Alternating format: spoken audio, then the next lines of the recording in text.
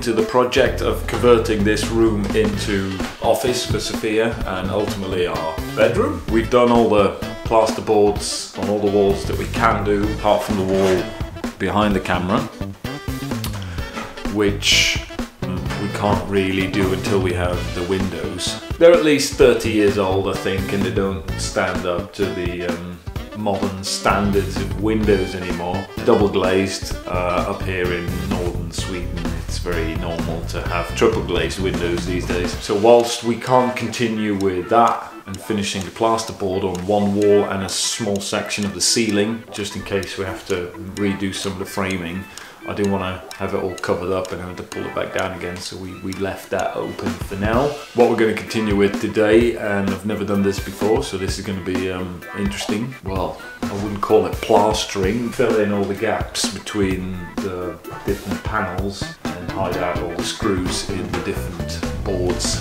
so that we basically have a nice flush even surface which we can then paint.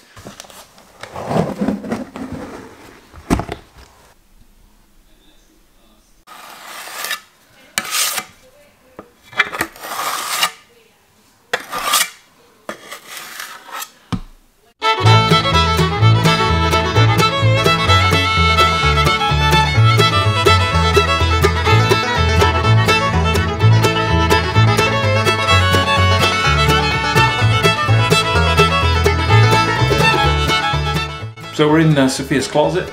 I've done the first coat of um, um, plaster. So as you can see, it needs it needs a bit of um, sanding. It's quite rough in places. I never plastered in my life, so it's uh, a little bit of a process to get right. It took me a few attempts to get a bit of a system going, but I think I've figured it out now. So um, hopefully the rest will be easier.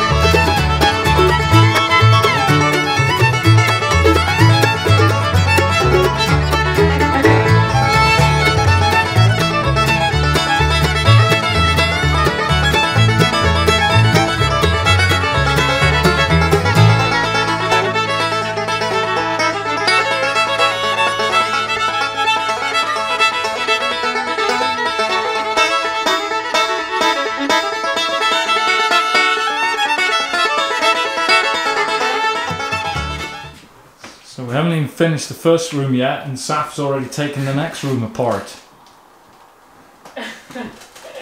Stripping the upstairs kitchen to I bits. only like destroying. I don't like building. Oh. Well, somebody has to do it. Yeah, you do it. Do you want to smash that cabinet off the, off the? Like this. Yeah, just smash it off. Harder. Well, that's it. Oh, that's the handle off. Oh yeah!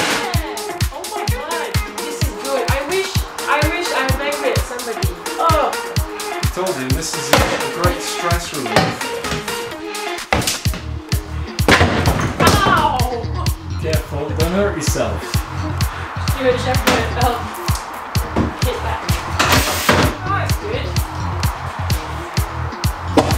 I hope there was nobody downstairs.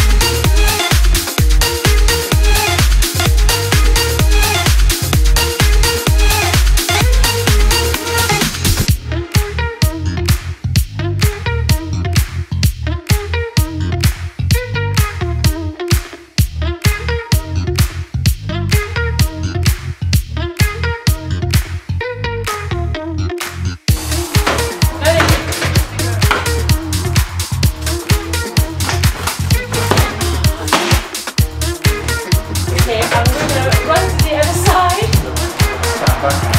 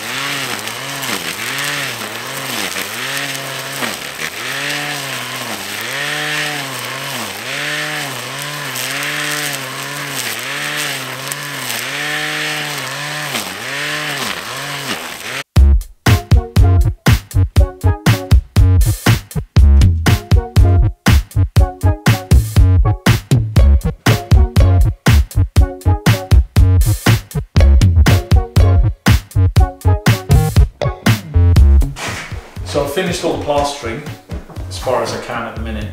The corners that I did yesterday, I haven't quite dried yet. It, it is really warm, as in like it's been consistently 28 degrees uh, C here for the last couple of days. So the, um, the plaster is drying quickly, but because in the corners there is quite a, a, a thick build-up of it, I'm probably not doing it right either, which doesn't help it um, which means it takes a lot longer to dry. So while sanding it today, I actually uh, clogged up the sander, um, the sandpaper, so I had to swap that out and then decided to leave those corners for what they are.